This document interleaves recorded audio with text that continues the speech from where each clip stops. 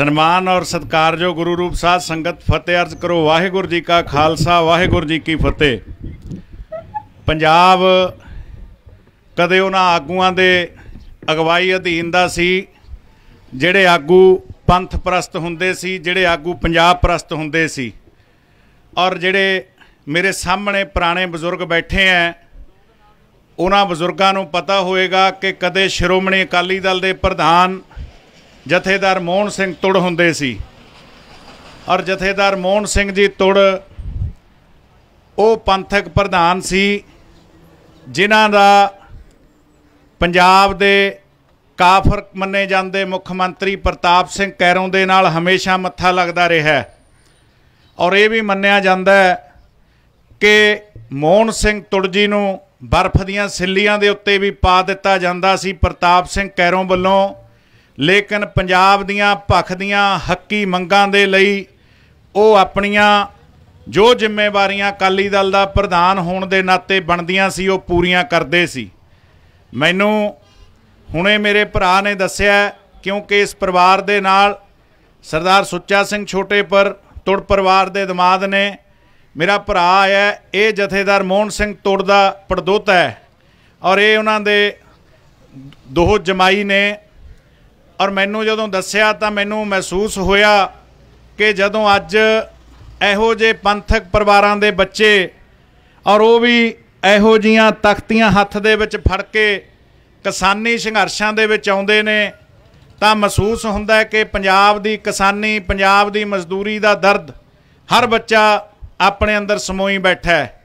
ਲੇਕਿਨ ਇੱਕ ਗੱਲ ਬਾਚਣ ਵਾਲੀ ਹੈ ਕਿ ਇੱਕ ਉਹ ਸਮਾਂ ਸੀ ਜਦੋਂ ਉਦੋਂ ਵੀ ਸਾਨੂੰ ਪੰਜਾਬ ਦੇ ਹੱਕਾਂ ਲਈ ਸਾਡੇ ਆਗੂਆਂ ਨੂੰ ਬਰਫਾਂ ਦੀਆਂ ਸਿੱਲੀਆਂ ਤੇ ਪਾ ਦਿੱਤਾ ਜਾਂਦਾ ਸੀ, ਲੇਕਿਨ ਇੱਕ ਅੱਜ ਆ ਸਮਾਂ ਕਿ ਅੱਜ ਵੀ ਸਾਡੇ ਆਗੂਆਂ ਨੂੰ ਭਾਵੇਂ ਰੇਲ ਦੀਆਂ ਸੜਕ, ਰੇਲ ਦੀਆਂ ਪਟੜੀਆਂ ਤੇ ਬੈਠਣਾ ਪਵੇ, ਭਾਵੇਂ ਦਰੀਆਂ ਵਿਛਾ ਕੇ ਹੱਕ ਮੰਗਣੇ ਪੈਂਦੇ ਹੋਣ।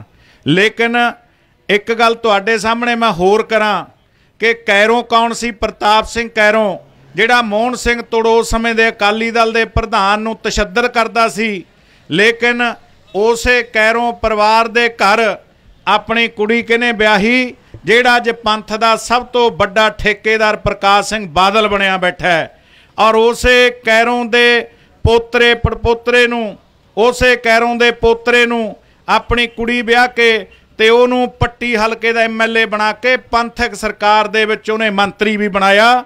ਤੇ ਜਿਹੜੇ ਪੰਥ ਪ੍ਰਸਤ ਪਰਿਵਾਰ ਸੀ, ਉਹਨਾਂ ਪਰਿਵਾਰਾਂ ਨੂੰ ਮੱਖੀ ਮੰਗੋ ਅਕਾਲੀ ਦਲ ਚੋਂ ਬਾਹਰ ਕੱਢ ਕੇ ਉਹਨਾਂ ਲੋਕਾਂ ਨੂੰ, ਜਿਨ੍ਹਾਂ ਲੋਕਾਂ ਨੇ ਪੰਜਾਬ ਲੁੱਟਿਆ, ਕੁੱਟਿਆ, ਪੰਜਾਬ ਨੂੰ ਨਚੋੜਿਆ, ਉਹਨਾਂ ਲੋਕਾਂ ਨੂੰ ਪੰਜਾਬ ਦੀ ਬਾਗਡੋਰ ਸੰਭਾਈ।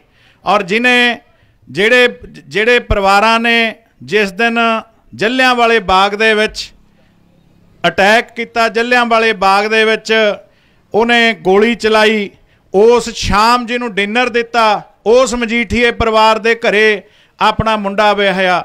ਸੋ ਮੇਰੇ ਕਹਿਣ ਤੋਂ ਭਾਵ, ਇਹ ਗੱਲਾਂ ਅੱਜ ਇਹਨਾਂ ਸਟੇਜਾਂ ਤੋਂ ਸਾਨੂੰ ਕਰਨੀਆਂ ਕਿਉਂ ਪੈ ਰਹੀਆਂ ਨੇ ਕਿ ਅੱਜ ਅਸੀਂ ਇਸ ਕਦਰ ਇਹਨਾਂ ਖੇਤੀ ਆਰਡੀਨੈਂਸਾਂ ਤੱਕ ਪਹੁੰਚੇ ਕਿਉਂ ਆ? ਕਿਉਂਕਿ ਇਹਨਾਂ ਲੋਕਾਂ ਦੇ ਅੰਦਰ ਦਰਦ ਹੈ ਨਹੀਂ। ਲੇਕਿਨ ਫਿਰ ਵੀ ਅਸੀਂ ਇੱਕ ਗੱਲ ਜ਼ਰੂਰ ਮਹਿਸੂਸ ਕਰਦੇ ਆਂ ਕਿ ਜਦੋਂ ਸਾਡੇ ਕੋਲ ਅਜਿਹੇ ਬੱਚੇ ਜਿਨ੍ਹਾਂ ਦੇ ਵਿੱਚ ਪੁਰਾਣੇ ਸਮਿਆਂ ਤੋਂ ਆਪਣੇ ਦਾਦੇ, ਪੜਦਾਦਿਆਂ, ਨਾਨਿਆਂ, ਪੜਨਾਨਿਆਂ ਦਾ ਖੂਨ ਹੈ, ਜਿੰਨੀ ਦਰ ਉਹ ਇਹਨਾਂ ਸਰਹੱਦਾਂ ਦੇ ਉੱਤੇ ਆ ਕੇ ਆਪਣੇ ਹੱਕਾਂ ਦੀ ਰਾਖੀ ਕਰਦੇ ਰਹਿਣਗੇ ਉਨੀ ਦੇਰ ਪੰਜਾਬ ਦੇ ਹੱਕਾਂ ਦੇ ਉੱਤੇ ਕੋਈ ਡਾਕਾ ਨਹੀਂ ਮਾਰ ਸਕੇਗਾ।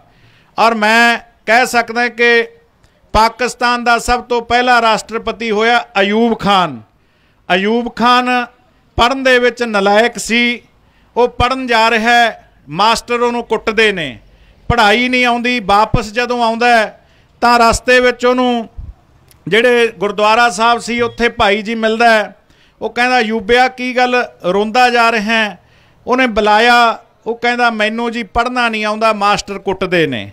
ਉਹਨਾਂ ਨੇ ਬੁਲਾਇਆ, ਕਹਿੰਦੇ, ਲੈ ਤੈਨੂੰ ਇੱਕ ਬਾਬੇ ਨਾਨਕ ਦੀ ਕਲਾਮ ਦੰਨਾ ਇਹ ਕਲਾਮ ਦਾ ਰੋਜ਼ ਪਾਠ ਕਰਿਆ ਕਰ। ਜਪਜੀ ਸਾਹਿਬ ਦੀ ਪਹਿਲੀ ਪੌੜੀ ਇੱਕ ਓੰਕਾਰ ਤੋਂ ਲੈ ਕੇ ਪਹਿਲੀ ਪੌੜੀ ਦਾ ਪਾਠ ਉਸ ਅਯੂਬ ਖਾਨ ਨੂੰ ਯਾਦ ਕਰਾਇਆ। ਉਹਨੇ ਜਾ ਕੇ ਘਰੇ ਸ਼ੁਰੂ ਕੀਤਾ। ਪਹਿਲੇ ਦਿਨ, ਦੂਜੇ ਦਿਨ, ਫਿਰ ਤੀਜੇ, ਚੌਥੇ ਦਿਨ ਜਦੋਂ ਅਯੂਬ ਖਾਨ ਆਇਆ ਕਹਿੰਦਾ, ਤੁਸੀਂ ਜਿਹੜੇ ਦਿਨ ਬਾਬੇ ਨਾਨਕ ਦੀ ਕਲਾਮ ਮੈਨੂੰ ਦਿੱਤੀ ਹੈ, ਉਸ ਦਿਨ ਤੋਂ ਮੈਨੂੰ ਪੜ੍ਹਾਈ ਵੀ ਆ ਗਈ ਤੇ ਉਹੀ ਮਾਸਟਰ, ਉਹੀ ਟੀਚਰ ਜਿਹੜੇ ਮੈਨੂੰ ਕੁੱਟਦੇ ਸੀ, ਮੈਨੂੰ ਪਿਆਰ ਵੀ ਕਰਨ ਲੱਗ ਗਏ। ਅਵਲ ਅੱਲਾ ਨੂਰ ਪਾਇਆ ਕੁਦਰਤ ਕੇ ਸਭ ਬੰਦੇ, ਏਕ ਨੂਰ ਤੇ ਸਭ ਜਗ ਉਪਜਾ ਕੌਣ ਭਲੇ, ਕੌਣ ਮੰਦੇ। ਗੁਰੂ ਨਾਨਕ ਬਾਬੇ ਨੇ, ਸਤਿਗੁਰ ਨਾਨਕ ਦੇ ਪਾਤਸ਼ਾਹ ਨੇ ਸਾਰੀ ਦੁਨੀਆ ਨੂੰ ਇੱਕਸਾਰ ਸਮਝਿਆ, ਲੇਕਿਨ ਉਸੇ ਗੁਰੂ ਗ੍ਰੰਥ ਸਾਹਿਬ ਪਾਤਸ਼ਾਹ ਦੀਆਂ ਬੇਅਦਮੀਆਂ ਨਾ ਪ੍ਰਕਾਸ਼ ਸਿੰਘ ਬਾਦਲ ਦੇ ਰਾਜ ਦੇ ਅੰਦਰ ਰੁਕੀਆਂ, ਨਾ ਕੈਪਟਨ ਅਮਰਿੰਦਰ ਸਿੰਘ ਦੇ ਰਾਜ ਅੰਦਰ ਰੁਕੀਆਂ। ਦੀਪ ਸਿੱਧੂ ਜੀ ਦੀ ਇਹ ਚਿੰਤਾ ਇਹ ਚਿੰਤਾ ਕਰਨ ਦਾ ਜਿਹੜਾ ਅਸਲ ਮਕਸਦ ਹੈ ਕਿ ਸਾਡੀ ਹੋਂਦ ਦੀ ਲੜਾਈ ਹੈ। ਕੱਲੇ ਖੇਤੀ ਆਰਡੀਨੈਂਸਾਂ ਦੀ ਲੜਾਈ ਨਹੀਂ, ਇਹ ਲੜਾਈ ਜਿੱਥੇ ਸਾਡੇ ਗੁਰੂ ਮਹਾਰਾਜ ਦੇ ਉੱਤੇ ਨਿਤ ਦਿਨ ਹੋ ਰਹੇ ਹਮਲਿਆਂ ਦੀ ਲੜਾਈ ਹੈ, ਇਹਨਾਂ ਦੇ ਪਿੱਛੇ ਕੌਣ ਹੈ? ਜਿੱਥੇ ਸਾਡੇ ਹਰ ਰੋਜ਼ ਕਿਸਾਨ ਖੁਦਕੁਸ਼ੀਆਂ ਕਰ ਰਹੇ ਹੈ, ਇਹਨਾਂ ਦਾ ਕੀ ਕਾਰਨ ਹੈ? ਜਿੱਥੇ ਸਾਡੇ ਖੇਤੀ ਨੂੰ ਘਾਟੇਬੰਦ ਧੰਦਾ ਬਣਾਇਆ ਜਾ ਰਿਹਾ, ਇਹਨਾਂ ਦਾ ਕੀ ਕਾਰਨ ਹੈ? ਸੋ ਇਹ ਸਾਰੀਆਂ ਚਿੰਤਾਵਾਂ ਦੇ ਬਾਰੇ ਆਪਾਂ ਇੱਥੇ ਬੈਠ ਕੇ ਵਿਚਾਰ ਵਟਾਂਦਰਾ ਕਰਦੇ ਹਾਂ।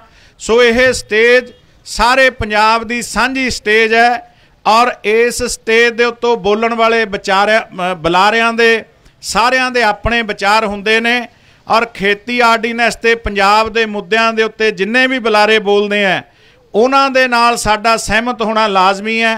ਲੇਕਿਨ ਜੋ ਜੋ ਗੱਲਾਂ ਇਸ ਸਟੇਜ ਦੇ ਮੁਤਾਬਕ ਜਾਂ ਪੰਜਾਬ ਦੀ ਪੰਜਾਬੀਅਤ ਮੁਤਾਬਕ ਕਈ ਵਾਰ ਨਹੀਂ ਵੀ ਹੁੰਨੀਆਂ ਅਸੀਂ ਕੋਸ਼ਿਸ਼ ਕਰਦੇ ਹਾਂ ਕਿ ਸਾਡਾ ਉਹਨਾਂ ਮੁਤਾਬਕ ਸਹਿਮਤ ਹੋਣਾ ਜ਼ਰੂਰੀ ਵੀ ਨਾ ਹੋਵੇ। ਸੋ ਮਹਿਸੂਸ ਕਰੋ ਕਿ ਆਪਾਂ ਸਾਰੇ ਇਕੱਠੇ ਹੋ ਕੇ ਇਸ ਲੜਾਈ ਨੂੰ ਉਸ ਪੱਧਰ ਤੱਕ ਸ਼ਾਂਤੀਪੂਰਵਕ ਲੈ ਕੇ ਜਾਈਏ। ਆ ਹੁਣੇ ਦੇਵਗਨ ਸਾਹਿਬ ਸੁਣਾ ਰਹੇ ਸੀ।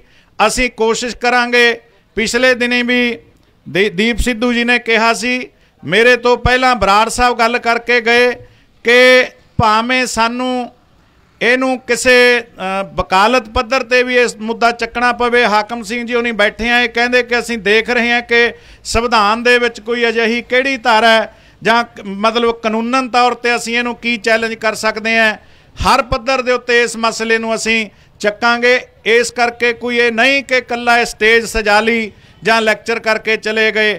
ਅਸੀਂ ਇੱਥੋਂ ਕੋਈ ਵੱਖਰੀ ਵੱਖਰੀ ਸਟੇਟ ਦਾ ਮਕਸਦ ਅਸੀਂ ਇੱਥੋਂ ਕੋਈ ਵੱਖਰਾ ਸਿਸਟਮ ਚਲਾਉਣਾ ਚਾਹੁੰਦੇ ਹਾਂ ਕਿ ਪੰਜਾਬ ਦੇ ਲੋਕਾਂ ਨੂੰ ਇੱਕ ਨਵੀਂ ਦਿਸ਼ਾ ਦਿੱਤੀ ਜਾਵੇ, ਨਵੀਂ ਦਸ਼ਾ ਦਿੱਤੀ ਜਾਵੇ, ਤਾਂ ਕਿ ਅੱਜ ਪੰਜਾਬ ਗੁਰਬਤ ਦੇ ਵਿੱਚ ਵੜ ਚੁੱਕਿਆ ਹੈ, ਪੰਜਾਬ ਇੱਕ ਅਜਹੀ ਦਸ਼ਾ ਵਿੱਚ ਜਾ ਚੁੱਕਿਆ ਹੈ ਕਿ ਪੰਜਾਬ ਨੂੰ, ਪੰਜਾਬ ਦਾ ਬਾਲੀ ਵਾਰਸ ਨਹੀਂ ਕੋ ਦਿਖ ਰਿਹਾ ਔਰ ਬੜੀ ਤਵੱਕੋ ਹੈ ਦੀਪ ਜੀ ਤੇ ਕੱਲ ਇਹਨਾਂ ਨੇ ਬੜਾ ਖੁੱਲਾ ਸੱਦਾ ਦਿੱਤਾ ਸੀ ਭਾਵੇਂ ਭਗਵੰਤ ਮਾਨ ਜੀ ਹੋਣ, ਖਹਿਰਾ ਸਾਹਿਬ ਹੋਣ, ਹੋਰ ਸਾਰੀਆਂ ਉਹ ਸ਼ਖਸੀਤਾਂ ਛੋਟੇ ਪਰ ਸਾਹਿਬ ਹੋਰ ਸਾਰੀਆਂ ਸ਼ਖਸੀਤਾਂ ਕਿ ਇੱਕ ਪਲੇਟਫਾਰਮ ਤੇ ਬੈਠ ਕੇ ਨਵਜੋਤ ਸਿੱਧੂ, ਪ੍ਰਗਟ ਸਿੰਘ ਉਹਨੇ ਕਿ ਇੱਕ ਪਲੇਟਫਾਰਮ ਤੇ ਬੈਠ ਕੇ ਪੰਜਾਬ ਦੇ ਉਜਵਲ ਭਵਿੱਖ ਦੀ ਆਪਾਂ ਜਿਹੜੀ ਤਾਣੀ ਹੈ, ਉਹਨੂੰ ਸਿਰ ਜੋੜ ਕੇ ਸੰਵਾਰੀਏ।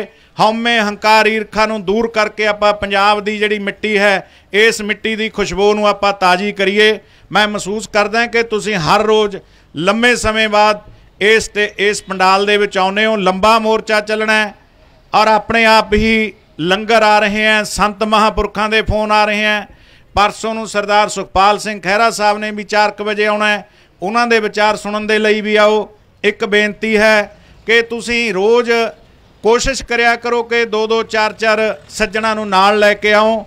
ਸ਼ਾਮ ਨੂੰ ਬੈਠ ਕੇ ਬਾਈ ਦੀਪ ਜੀ ਉਹਨੀ ਤੁਹਾਡੇ ਵਿੱਚ ਬੈਠ ਕੇ ਸਾਰੀਆਂ ਗੱਲਾਂ ਦਾ ਤੁਹਾਡੇ ਨਾਲ ਖੁੱਲਾ ਵਿਚਾਰ ਵੀ ਕਰਦੇ ਆ। ਇਹ ਮੰਚ, ਇਹ ਪਲੇਟਫਾਰਮ ਤੁਹਾਨੂੰ ਇਸ ਕਰਕੇ ਦਿੱਤਾ ਹੈ ਕਿ ਦਿੱਲੀ ਵੱਲ ਮੂੰਹ ਕਰਕੇ ਆਪਾਂ ਦਿੱਲੀ ਦੇ ਹਾਕਮਾਂ ਨੂੰ ਇਹ ਜਣਾ ਸਕੀਏ ਕਿ ਪੰਜਾਬ, ਪੰਜਾਬੀ ਤੇ ਪੰਜਾਬੀਅਤ ਦੇ ਵਿੱਚੋਂ ਕਣ ਹੈ। ਜਿਸ ਕਣ ਦੇ ਜ਼ਰੀਏ ਅਸੀਂ 1947 ਦੇ ਵਿੱਚ ਵੀ ਗੋਰਿਆਂ ਤੋਂ ਦੇਸ਼ ਆਜ਼ਾਦ ਕਰਾਇਆ ਸੀ ਔਰ ਅਸੀਂ ਉਹਨਾਂ ਲੋਕਾਂ ਤੋਂ ਵੀ ਆਰਡੀਨੈਂਸ ਤੇ ਖੇਤੀ ਬਿੱਲ ਵਾਪਸ ਕਰਾਵਾਂਗੇ, ਜਿਹੜੇ ਲੋਕ ਅੱਜ ਪੰਜਾਬ ਦੀ ਖੇਤੀ ਸੈਕਟਰ ਨੂੰ ਇੰਡਸਟਰੀਲਿਸਟਾਂ ਦੇ ਹੱਥ ਦੇਣਾ ਚਾਹੁੰਦੇ ਆ। ਸੋ ਮੈਂ ਨੌਜਵਾਨਾਂ ਨੂੰ ਵੀ ਬੇਨਤੀ ਕਰਾਂਗਾ, ਬਜ਼ੁਰਗਾਂ ਨੂੰ ਬੇਨਤੀ ਕਰਾਂਗਾ ਕਿ ਤੁਸੀਂ ਵੀ ਆ ਕੇ ਆਪਣੇ ਵਿਚਾਰ ਇਸ ਸਟੇਜ ਤੋਂ ਜ਼ਰੂਰ ਦਿਆ ਕਰੋ, ਤਾਂ ਕਿ ਤੁਹਾਡੇ ਵਿਚਾਰਾਂ ਚੋਂ ਹੀ ਅੱਗੇ ਵਿਚਾਰ ਜਾਂ ਅੱਗੇ ਇਹਨਾਂ ਦੇ ਹੱਲ ਲੱਭਣੇ ਆ ਕੋਈ ਸਾਡੇ ਦੋ ਚਾਰਾਂ ਕੋਲ ਤਾਂ ਇਹ ਗੱਲਾਂ ਨਹੀਂ।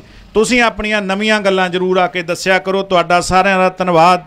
ਇਸ ਬੱਚੇ ਦਾ ਮੈਂ ਜ਼ਰੂਰ ਤਾਂ ਕਰਕੇ ਜ਼ਿਕਰ ਕੀਤਾ ਕਿ ਇਹੋ ਜਿਹੇ ਪੰਥਕ ਪਰਿਵਾਰ ਜਿਨ੍ਹਾਂ ਪਰਿਵਾਰਾਂ ਨੂੰ ਚਾਹੀਦਾ ਤਾਂ ਇਹ ਸੀ ਕਿ ਮਾਨ ਤੇ ਸਨਮਾਨ ਮਿਲਦਾ, ਲੇਕਿਨ ਆਪਣੀਆਂ ਚੌਧਰਾਂ ਤੇ ਦੌਲਤਾਂ ਨੂੰ ਅੱਗੇ ਚਮਕਾਉਣ ਲਈ ਅੱਜ ਅੱਜ ਜੇਕਰ ਉਹ ਪੰਥ ਦੀ ਪਾਰਟੀ ਅਕਾਲੀ ਦਲ ਦਾ ਬੋਰਡ ਦੇਖਿਆ ਜਾਏ ਤਾਂ ਇੱਕ ਪਾਸੇ ਦਿਖਦਾ ਪ੍ਰਕਾਸ਼ ਸਿੰਘ ਬਾਦਲ, ਸੁਖਵੀਰ ਸਿੰਘ ਬਾਦਲ ਵਿਕਰਮ ਸਿੰਘ ਮਜੀਠੀਆ, ਹਰਸਿਮਰਤ ਕੌਰ ਬਾਦਲ। ਸੋ ਇਸ ਕਰਕੇ ਬਾਦਲ ਲਿਮਟਿਡ ਕੰਪਨੀ ਨੇ ਅਜਿਹੇ ਪੰਥਕ ਯੋਧਿਆਂ ਦੇ ਪਰਿਵਾਰਾਂ ਨੂੰ ਇੱਕ ਇੱਕ ਸਾਈਡ ਤੇ ਕਰਕੇ ਇਸ ਪੰਥਕ ਪਾਰਟੀ ਨੂੰ ਆਪਣੇ ਪਰਿਵਾਰ ਦੀ ਲਿਮਟਿਡ ਕੰਪਨੀ ਬਣਾ ਲਿਆ। ਸੋ ਆਪਾਂ ਨੂੰ ਇਹ ਸਾਰੀਆਂ ਚਿੰਤਾਵਾਂ, ਭਾਵੇਂ ਉਹ ਕਾਂਗਰਸੀ ਹੋਣ, ਭਾਵੇਂ ਉਹ ਅਕਾਲੀ ਹੋਣ, ਸਾਡਾ ਬੈਰ ਕਿਸੇ ਨਾਲ ਨਹੀਂ, ਲੇਕਿਨ ਸਾਡਾ ਉਹਨਾਂ ਗੱਲਾਂ ਨਾਲ ਜ਼ਰੂਰ ਬੈਰ ਹੈ, ਜਿਹੜੀਆਂ ਗੱਲਾਂ ਪੰਜਾਬ ਨੂੰ ਉਜਾੜਨ ਦੇ ਲਈ ਇਹਨਾਂ ਲੋਕਾਂ ਨੇ ਕੀਤੀਆਂ। ਅੱਜ ਕੱਲੇ ਕੱਲੇ ਐਮਐਲਏ ਦੀ ਪੰਜ ਪੰਜ ਪੈਨਸ਼ਨਾਂ ਕੱਲਾ ਕੱਲਾ ਐਮਐਲਏ ਲੈ ਰਿਹਾ ਹੈ ਕੱਲਾ ਕੱਲਾ ਵਿਧਾਇਕ ਲੈ ਰਿਹਾ ਹੈ। ਲੇਕਿਨ ਮੈਨੂੰ ਪਿਛਲੇ ਹਫ਼ਤੇ ਇੱਕ ਸੈਕਟਰੀ ਆ ਕੇ ਕਹਿੰਦਾ ਕਿ ਸਾਡੇ ਕੋਲ ਚਿੱਠੀ ਆਈ ਹੈ, ਇੱਕ ਸਰਪੰਚ ਬੈਠਾ ਸੀ ਕਿ ਜਿਨ੍ਹਾਂ ਦੇ ਕੋਲ ਡਬਲ ਜਾਂ ਕੁਝ 5-700 ਰੁਪਇਆ ਵੱਧ ਪੈਨਸ਼ਨ ਚਲੀ ਗਈ, ਉਹਨਾਂ ਦੀ ਦੁਬਾਰਾ ਜਾਂਚ ਕਰਕੇ ਉਹਨਾਂ ਤੋਂ ਪਿੰਡਾਂ ਦੇ ਵਿੱਚ ਜਿਹੜੇ ਗਰੀਬ ਬੰਦੇ ਆ, ਉਹਨਾਂ ਤੋਂ ਵੀ ਪੈਸੇ ਵਾਪਸ ਕਰਵਾਉਣ ਦਾ ਫਰਮਾਨ ਕੈਪਟਨ ਅਮਰਿੰਦਰ ਸਿੰਘ ਨੇ ਜਾਰੀ ਕਰਤਾ। ਸੋ ਇਸ ਕਰਕੇ ਕੈਪਟਨ ਅਮਰਿੰਦਰ ਸਿੰਘ ਨੂੰ ਬੇਨਤੀ ਹੈ ਕਿ ਗਰੀਬਾਂ ਤੋਂ 1000 2000 ਰੁਪਇਆ ਵਾਪਸ ਕਰਾਉਣ ਤੋਂ ਪਹਿਲਾਂ ਜਿਹੜੀਆਂ ਪੈਨਸ਼ਨਾਂ ਇਹਨਾਂ ਦੇ ਆਪਣੇ ਐਮਐਲਏਆਂ ਦੀਆਂ ਪੰਜ ਪੰਜ ਲਾਈਆਂ ਹੋਈਆਂ, ਉਹ ਪੈਨਸ਼ਨਾਂ ਦਾ ਜ਼ਰੂਰ ਖਜ਼ਾਨੇ ਵਿੱਚ ਜਮ੍ਹਾਂ ਕਰਾਏ। ਅਜਿਹੇ ਫਰਮਾਨਾਂ ਦੇ ਖਿਲਾਫ ਆਪਾਂ ਜ਼ਰੂਰ ਲਾਮਬੰਦੀ ਖੜੀ ਕਰੀਏ। ਤੁਸੀਂ ਸਾਰੇ ਸਟੇਜ ਤੋਂ ਬੋਲੋ, ਸਾਰਿਆਂ ਦਾ ਹੀ ਧੰਨਵਾਦ ਹੈ। ਲੰਗਰ ਖੀਰ ਦਾ ਚੱਲ ਰਿਹਾ ਹੈ, ਦੁੱਧ ਦਾ ਚੱਲ ਰਿਹਾ ਹੈ। ਇਹ ਗੁਰੂ ਮਹਾਰਾਜ ਦੀ ਅਲੌਕਿਕ ਸ਼ਕਤੀ ਹੈ ਕਿ ਇਸ ਮੋਰਚੇ ਦੇ ਵਿੱਚ ਸਾਰੀ ਸ਼ਕਤੀ ਗੁਰੂ ਮਹਾਰਾਜ ਆਪਣੇ ਆਪ ਸ਼ਾਮ ਨੂੰ ਰਹਿ ਰਸ ਦਾ ਪਾਠ ਹੁੰਦਾ ਸਾਰਿਆਂ ਦਾ ਧੰਨਵਾਦ ਹੈ। ਵਾਹਿਗੁਰੂ ਜੀ ਕਾ ਖਾਲਸਾ, ਵਾਹਿਗੁਰੂ ਜੀ ਕੀ ਫਤਿਹ।